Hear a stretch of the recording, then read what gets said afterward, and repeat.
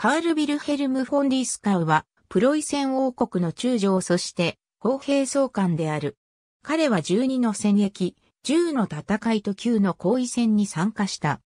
黒鷲勲章とプールルメリット勲章を受章し、1851年に建てられたフリードリヒ大王騎馬像に名を連ねている。彼は一般的にフリードリヒ大王が誇った騎馬砲兵隊の創設者とされる。両親はベンドルフの領主、ホルラート・フォン・ディースカウと、ハインリヒ・ビルヘルム・フォン・ケルベナーの娘で二人目の妻、ヨハンナ・エレオノーレ・フォン・ケルベナーである。ディースカウ自身は終生未婚であったが、その甥の息子はヘルムート・カールベルンハルト・フォン・モルト・ケゲンスイである。ディースカウは1721年2月2日にプロイセン軍に入隊し、砲兵となった。1727年4月12日、彼は少尉に昇進し、1730年には中尉、1737年12月13日に上級中尉、1741年11月19日に大尉そして1746年10月15日には少佐に就任している。フリードリヒ2世が国王に即位した1741年、その軍の方は時代遅れであった。大砲の数が不足していたのみならず、その品質も低かった。諸国の軍が古体の方針に先行することを学んでいた一方、プロイセンではまだ真の上から鋳造していたのである。これにより法の信頼性は損なわれ、各法の後継の整合が難しくなっていた。さらに1740年代において最大の損害を与える兵器はマスケット銃ではなくて大砲だったのである。ディースカウはすでに砲の開発にいくつかの貢献を果たしていた。フリードリヒ2世は外して砲兵を軽んじていたが、その部隊の価値を認め、ザムエル・フォン・シュメッタウ元帥を砲兵総長に任じていた。1741年までにフリードリヒ2世は砲兵中隊1個、野砲中隊5個を含む2つ目の大隊を編成する。砲兵は最も専門的な任務として、榴弾砲や球砲に配置された。野砲中隊は、軍の全体にわたって配された。1742年、国王は、ブローツワフで、もう一個、大砲を伴う守備隊を編成する。1744年、二つの大隊は、シュメッタウの指揮下、野戦砲兵連隊の称号を授かるが、実際の指揮は、フリードリヒ・ビルヘルム一世の砲兵司令官であった、老将、クリスティアン・ニコラウス・フォンディンガーが取り続けた。砲兵隊の拡大と、これに対するフリードリヒ2世の依存は、ディースカウが昇進する機会を大きくした。1752年7月9日、プールルメリット勲章を受章したほか、国王は彼に豪華なタバコ入れを貸ししている。1755年4月20日に、中佐、1757年2月28日には、ついに大佐そして砲兵隊と砲兵用機材の総監に任じられたのである。1756年までに、フリードリヒ2世は、大砲の数を662門以上に増やした。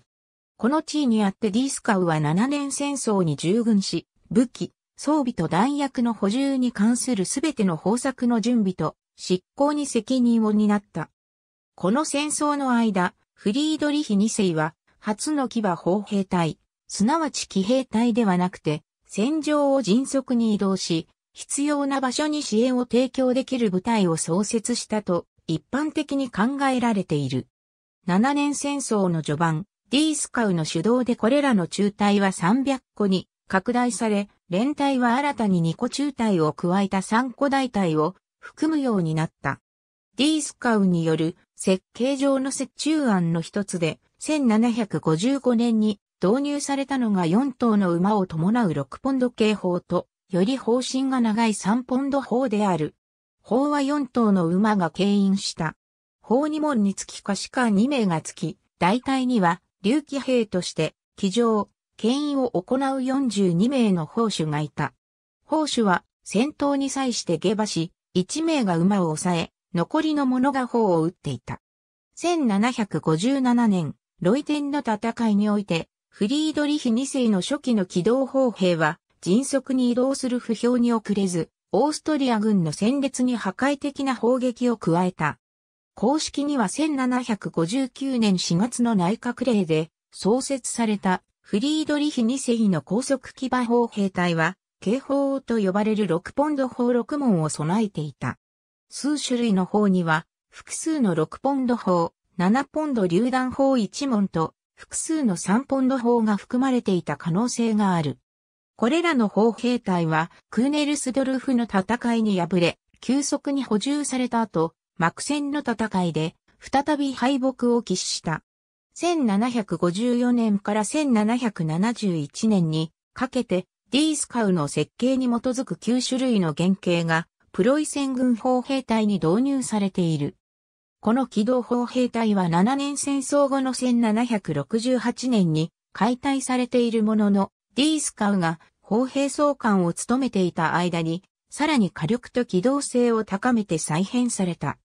フリードリヒ2世は1762年10月18日、ディースカウを少々に任じ、1768年5月16日には、中将に昇進させると、黒足勲章を授けている。カール・ビルヘルム・フォン・ディスカウは、未婚のまま1777年8月14日にベルリンで没し、フリードリヒ2世の命令により、ベルリンで早朝な葬儀が取り行われた。1851年、フリードリヒ2世の甥の孫、フリードリヒビルヘルム4世により、その名はプロイセンの他の元君と共に連ねられている。ゴスイシーズ・ジーニアロジスチズ・タシャンブッチでアデルジョン、ハウザー、1905、セクスター・ヤーガン、P226 カール・バルラット、ホンディスカウ、ABC、リッペ・バイセンフェルト・ハク、エルンスト、ドイツ一般人名辞典、ディースカウ、カール・フォン、バンドゴ、ダンカーハンブロット、ライプツヒ1877、P147、この主張は事実と異なると考えられる。ジャン・マリッツが砲身の水平式穿孔装置を開発したのは1734年頃であり、フランスで採用されていた。しかし他国がこの技術に関心を持ったのは、同名の息子が装置を改良し、大砲製造工場の総監に就任した1755年以降のことである。 William H. McNeill、The Pursuit of Power、Technology、Armed Force、and Society since AD 1000、University of Chicago Press、2013、P167 ハット・ Tim Blanning、Frederick the Great、King of Prussia、Random House Publishing Group、2016、9兆7814億 68,128p289。この任命は、元帥として神聖ローマ帝国に仕えてきたシュメッタウがプロイセンに転死するにあたり、あたかも彼自身に、砲兵隊の上級指揮権が与えられているかのような、一種の地位向上を認めるためのものであった。実務上、砲兵隊に関する国王の命令は、すべて直接当時の砲兵司令官であったクリスティアン・ニコラウス・フォン・リンガーに送られている。エドアルト・ラング、ダイゾールドッテン・フリードリックス・デグローセン、ヘルマン・メンデルスゾーン、ライプツヒ、1853、P368ABCDE フィリップ、ヘイサーン・スウェイト、フレデリック・ザグレート、S アーミー、スペシャリスト・トゥループス、ブルームズバリー・パブリッシング、2012、9兆7817億8096万7622ページ。なお原文には、ノミナル、コマンドとあるが、ここでは、引用元の表現に沿って解約した。AB ハンス・ブラーニヒ、新ドイツ人名録、ディースカウ、カール・ビルヘルム・フォン、バンドさん、ベルリン、ダンカーハンブロット、ピアニッシモ、662-662、AB 外部サイト、クローネスクフの記事より、出展として、ジェノラルスタブクリークスジェシークトリーチアップタイラン2、ダイクレガフリードリックスデグローセン、パート3でアシエボニョリッチクリーク1756から1763、ボリューム1ピルナウントロボシッツ、ベルリン、1901、アペンディックス1と、ジェンルローテナントフォンストロタ、コニグリックプロイシ社0点でアーティレリーホムヤーレ1759、ビス1816、ベルリン1868、フォッシャブーックハンドラン、が挙げられている。30ノーベンバー2014版を2017年3月6日に参照。JFC フラー、A Military History of the Western World、ダーカーポプレス、1987、97803068035-5P212 から215、デンクマール・ケーニヒ・フリードリックス・デグローセン、エンスールと AM31、マイ1851、ベルリン1851。ありがとうございます。